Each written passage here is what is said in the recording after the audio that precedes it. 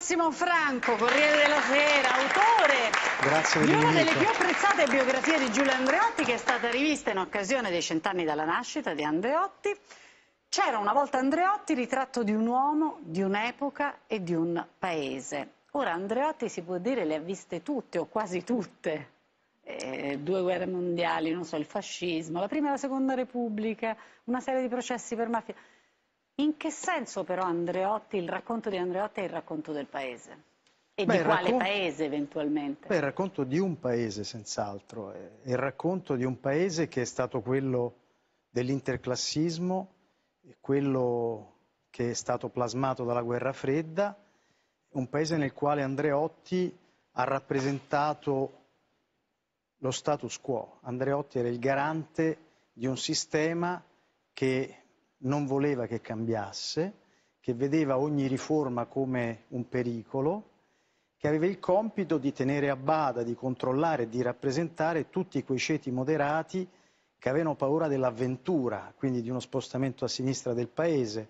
E quindi lui in qualche modo rassicurava questi ceti, faceva in modo che non si spezzasse questo interclassismo e aveva capito molto bene che in realtà eh, quello che era il nemico ideologico della democrazia cristiana era la sinistra, ma il vero concorrente elettorale era la destra.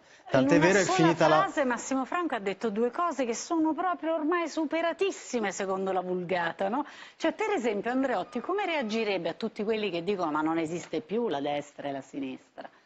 Beh, Perché eh, lei ha citato il Partito sì, Comunista, ha citato sì. la destra.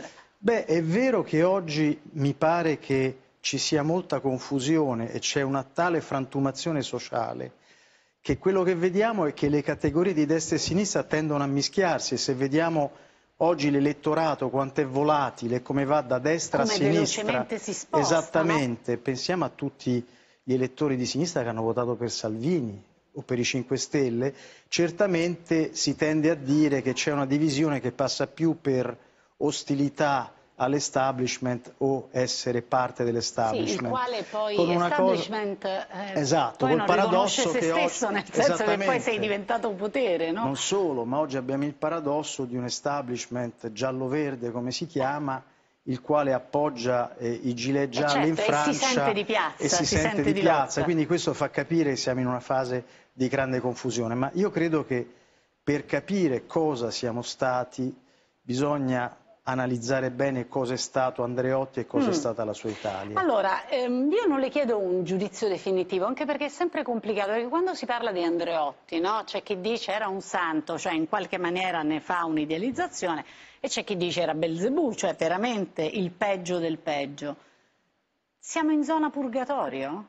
Certo. E il libro è un po' la celebrazione del purgatorio. Beh, comunque è lo del specchio purgatorio. del purgatorio, nel senso che quest'uomo, secondo me, vede, io ho l'impressione che la verità che tende a dare di Andreotti un'immagine angelicata Eh. e quello eh, che tende a darne un'immagine demonizzata siano tutte e due molto, molto parziali, ma soprattutto non servono a nulla. E sono due verità, ormai si è capito, inconciliabili.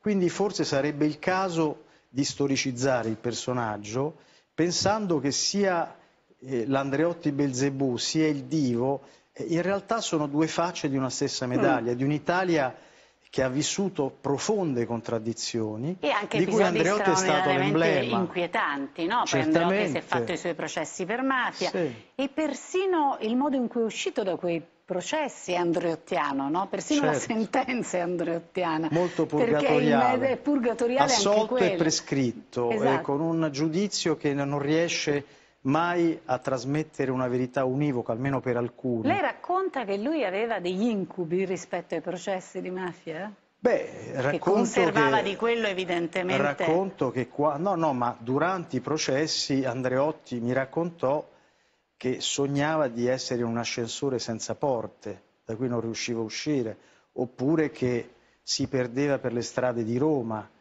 Tant'è vero che lui ricorse ad uno psichiatra che era il professor Cassano, che aveva una clinica a San Rossore in Toscana, dove sia lui che la moglie andarono perché eh, i riflessi anche psico- psicologici di questi processi furono profondi e duraturi. Il che ci dà poi anche la possibilità, ma questo vale sempre comunque, di vedere un'altra faccia, no? Cioè, voglio dire, al di là di quello che si pensa di Andreotti, poi c'è un aspetto che è puramente umano, che è quello che prende il colpo, lo deve digerire, lo deve elaborare. Ma Lei sì, citava la moglie. Sì. Penso che in questo tempo che è tutto fatto di selfie, di autocitazioni, di privato che è solo pubblico, non ha più niente di privato, mi viene in mente che la famiglia di, Andreotti è stata praticamente inesistente, invisibile per moltissimo tempo. Un po' perché era un'epoca della nostra anche, storia no? in cui la democrazia cristiana, il partito comunista, ma tutti i partiti avevano una concezione quasi sacerdotale, mm. intendo dire non come penitenza, ma come immagine esterna estremamente senza famiglia, anaffettiva. Un po' perché in effetti la famiglia di Andreotti aveva quattro figli, Andreotti, eh sì. è stata sempre una famiglia molto discreta e se uno li conosce si accorge che sono persone normali che non hanno mai avuto nessun rapporto con la politica e la moglie era una persona di una grande ironia e di una grande classe. E, e Andreotti aveva però anche con la moglie un rapporto molto controllato, molto controllato. Era Andreotti anche a casa, diciamo. Ma secondo me era più Andreotti la moglie.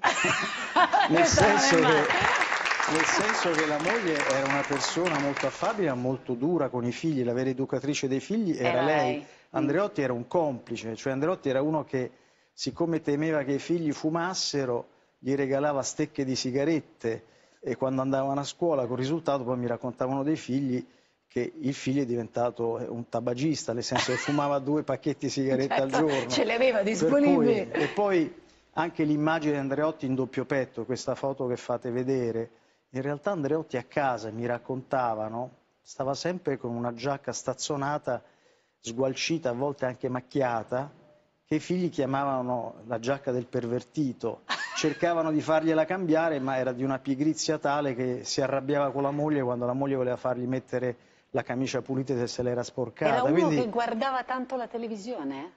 Sì, la guardava la televisione però negli scampoli di tempo perché in realtà Andreotti è stato un padre, loro dicono presente quando c'era ma in realtà spesso assente, quindi amava la televisione, ma in un modo un po' particolare. Pare che imputasse a Berlusconi la diffusione di alcuni programmi televisivi come Il Grande Fratello che avevano Beh, rovinato lì, il paese. Sì, sì. Lì c'era una rottura proprio antropologica, eh. nel senso che Andreotti era un professionista della politica e vedeva Berlusconi come un dilettante che aveva usurpato i ceti moderati, quindi c'era anche un po' di invidia, tra virgolette, mm. nei confronti di Berlusconi, e non solo da parte di Andreotti. Lui ha fatto divertire moltissimi vignettisti, no? è stato materia proprio per tantissime vignette. Come la viveva? Ma la viveva bene, con qualche stilettata, perché mi raccontava il nostro vignettista del Corriere Sera, Emilio Giannelli, che è di una bravura eccezionale, Assoluta. che una volta fece su Andreotti una battuta particolarmente tagliente, e Andreotti eh, gli rispose mandandogli un biglietto in cui gli augurava di avere tutto quello che meritava che era una cosa un certo, po' a doppio taglio. È terribile, è terribile. Allora, noi vi abbiamo dato un assaggio. C'era una volta Andreotti, ritratto di un uomo, di un'epoca e di un paese. Massimo Franco, la lettura è molto gustosa, io ve la raccomando. Grazie, Grazie a Massimo Grazie Franco. A.